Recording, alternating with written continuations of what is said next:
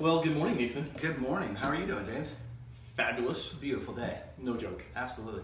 Thank you, Paul, for joining us. Yes, thank you, Paul. Thank you, viewers, for joining us. Wouldn't Yeah, be here oh, without you. Didn't see you there. Hello. How are you?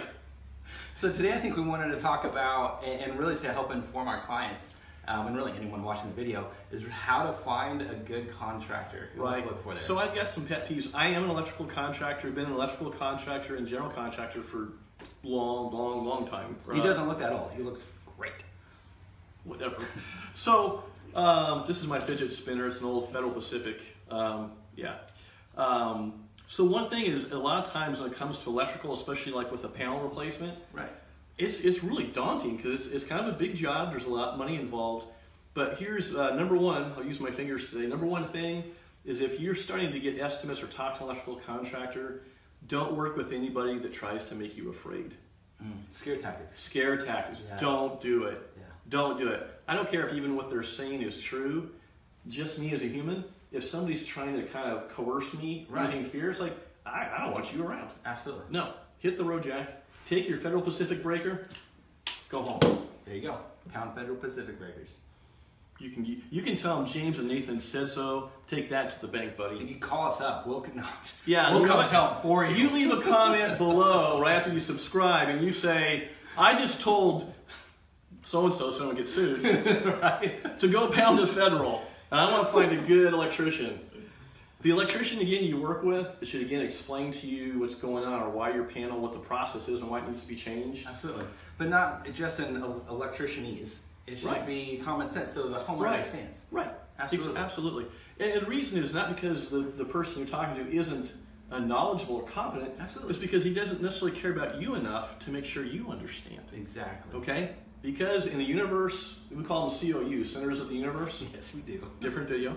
Um, your electrician shouldn't be the COU. Yeah. You, as the homeowner, should be the COU. Exactly. That is a big deal to me. Uh, number two thing, uh, beyond avoiding scare tactic people, Mhm. is um, make sure the process feels complete. Right. Okay? So, like any job you have or work done at your house, make sure you understand the details and you know, preferably in writing, when it's done. Absolutely. Okay? Because if you just say, hey, we're to have a panel change, in my mind, there's like a thousand details. Absolutely. So, is it done when the power's back on? Is it done when there's no more holes in the wall? Yeah. Exactly. You know, is, has the fire stopped? so we're good? Yeah. So, my point is, it should make sense to you, like any work you have done at your house, when is it done? Yeah. Well, and, and really, it should be done when the inspector comes by and gives a, a green tag, Mhm. and everything's kind of checked off the. But again, in your process, it's kind of overwhelming. You're talking Yeah. to somebody in, in an industry usually you don't know anything about, Exactly. and you should feel comfortable with what's going on. And again, you should know when we're a green light to go. Absolutely. Gotcha. Um, the other thing, a lot of times, if you're in a rush or we're all busy, check check the reviews and the references. Absolutely. Check them, check them, check them. Uh, I bumped into people working on my own property in my house, and uh, I, they were a referral, and I talked to them. They seemed so likable, and then I went online. It's like, hmm, So you so actually much. hire people to work on your house? I, Yes. I thought you did it all. I do a lot, but I am getting old and I'm tired. Gotcha. That's right. Uh, So you do the legwork, the research, reviews, even on referrals. absolutely. Yeah. No, referral's nice because you don't have to go to. I was going to say the yellow pages. Sorry, I'm old. Uh, I don't go to Yelp or online. Yelp's the right word, right? Yelp's a good one. Nice. Um, you need to check it out. Yeah. Okay. So the other thing is, even if you have a great advertising and a great website, and you only have a couple of reviews, you need to figure out why. Absolutely. Okay. So, like on any work, especially like the panel, the panel once you have it changed or replaced, it should be good for as long as you own that house for decades. Certainly. it should be golden. So, do the process. Don't let yourself be rushed.